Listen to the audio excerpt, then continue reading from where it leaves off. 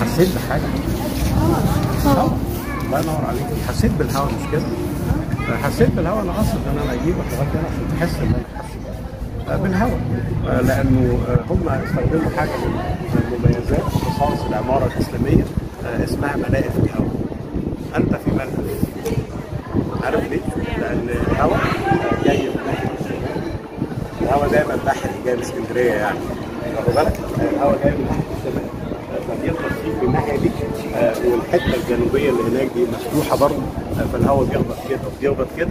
زائد السقف اللي متخرم ده فبيعمل عملية تقليل للهواء ventilation تقليل للهواء تحس إن انت حاسس لأن إحنا ما بنستخدمش وكان تصميم موفر جدا.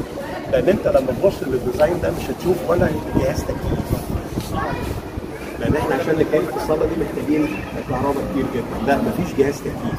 الحتة المتحفيه اللي جوه متكيفه آه، وعند ال- ال- المطاعم والكافيهات طبعا متكيفه آه، إنما الجزء اللي انت فيه ده اللي هو جزء كبير جدا زي ما أنت شايف. آه، مفيش فيه تكييف. في كهرباء بس حتى ما بننوروش غير بالليل لما بيكون في الفيلم ده بالليل آه، وربنا آه، يطفي النور آه، النور يعني يغرب الشمس. آه، فبننور الحتة دي. آه، انما غير كده ما بنستخدمش كهرباء آه، خالص في الحته دي عمارة آه، إسلامية آه، سمحت. يعني انت لما تخش جامع من القديمه آه، تلاقي في حاجة اسمها الشخشيخه آه، الشخشيخه دي عبارة عن آه، حتة مفتوحة كده في السقف آه، كان الهواء يدخل من الجناب آه، والشخشيخه فوق آه، الهواء يخش برضه من فوق آه، يعمل عملية آه، آه، للهواء.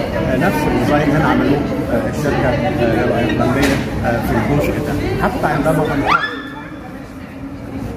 حتى عندما امطرت في القاهره من حوالي سنة كده أو أقل من سنة فاكرين؟ لما امطرت جامد جدا في القاهره وقال لك إن المتحف غرق والرئيس عايز يمشي وحاجات كده. كل ده كان نطلق نطلق يعني لأن إحنا كنا موجودين في المتحف هنا كانش عايز يمشي ولا المتحف غرق ولا حاجة. عارف المتحف ما غرقش ليه؟